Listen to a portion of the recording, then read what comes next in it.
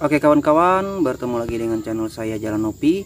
Nah, pada kesempatan yang berbahagia ini, saya akan membagikan bagaimana cara membedakan membedakan uh, antara pepaya jantan dengan betina ya. Jadi pada saat teman-teman menanam pepaya nanti itu uh, berbuah semua ya. Jadi tidak ada yang uh, jantan ya atau yang tidak berbuah. Jadi berikut perbedaan atau ciri-ciri Baik kawan-kawan, ciri pertama untuk membedakan pepaya jantan dengan pepaya betina dapat kita lihat dengan akarnya ya. Baik, kita cabut dulu ya. Nah, contoh. Nah, ini. Ini adalah contoh nyata perbedaan dari pepaya jantan pepaya betina ini. Nah, ini. Saya akan ambilkan dua contoh yang jelas-jelas berbeda. Nah, ini.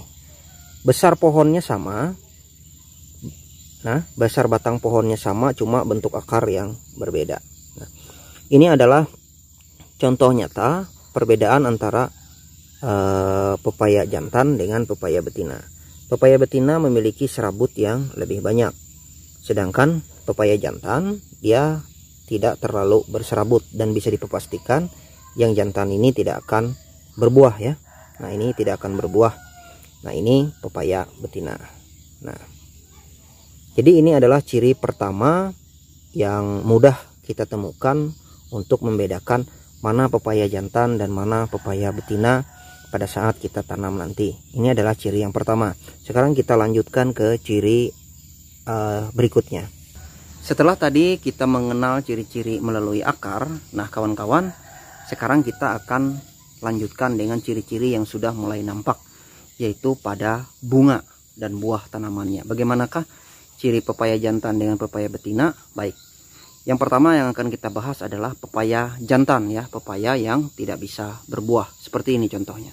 Nah ini adalah bentuk pepaya uh, jantan ya kawan-kawan. Ini adalah bentuk pepaya jantan.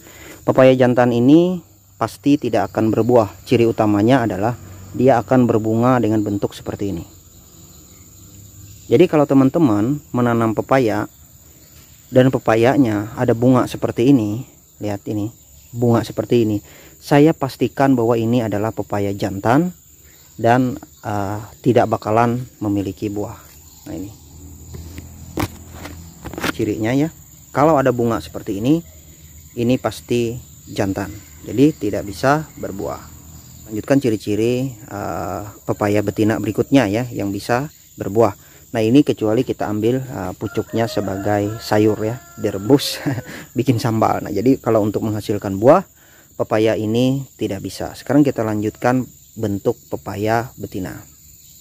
Nah ini adalah pepaya betina. Penampakannya dia tidak lagi melewati bunga seperti yang tadi, tetapi langsung muncul bakal buah seperti ini. Ya, nah ini pepaya betina langsung muncul bakal buah seperti tadi ya. Jadi dia tidak melewati bunga. Nah tidak melewati bunga seperti ini ya. Nah kalau berbunga seperti ini bisa dipastikan tadi itu pepaya jantan ya. Tidak akan pernah bisa berbuah. Dia langsung uh, mengalami atau memunculkan batang batang apa? Batang buah. Maksudnya buah ya. Langsung muncul begini lihat nah. Buah langsung Nah, tidak melewati proses bunga. Kalau ada bunganya, bunga seperti penampakan pada yang pertama, maka saya pastikan bahwa itu bukan pepaya betina. Nah, ini. Kalau dari bentuk-bentuk lain, lihat ini masih rendah, itu saya pastikan tidak ada sama ya, sama. Tidak ada beda antara pepaya jantan dengan pepaya betina kalau dari bentuk uh, dari bentuk batang ya sekarang kita ambil contoh dari bentuk daun. Dari bentuk daun, ini pepaya jantan, daun pepaya jantan, lihat yang tidak bisa berbuah seperti ini. Sementara ini saya petik daun pepaya betina. Apakah ada perbedaan dari dua buah daun daun ini? Menurut saya, perbedaan yang paling nampak antara pepaya jantan dengan pepaya betina daunnya adalah pada pepaya jantan dia lebih bulat. Lihat. Lebih bulat lebih bulat ya. Sedangkan pepaya betina daunnya lebih memanjang, menyirip. Lihat ini. Nah, lebih panjang.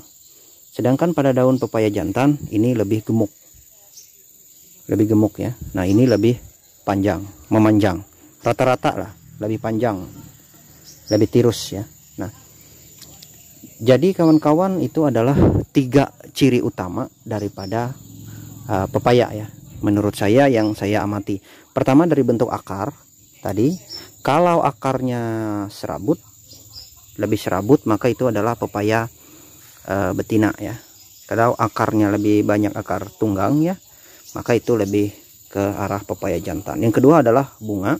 Kalau ada bunga maka dipastikan itu adalah pepaya jantan ya. Nah, selanjutnya bentuk daun tadi. Nah, itu kalau dia lebih menyirip atau menjari itu adalah pepaya betina. Bisa kita lihat.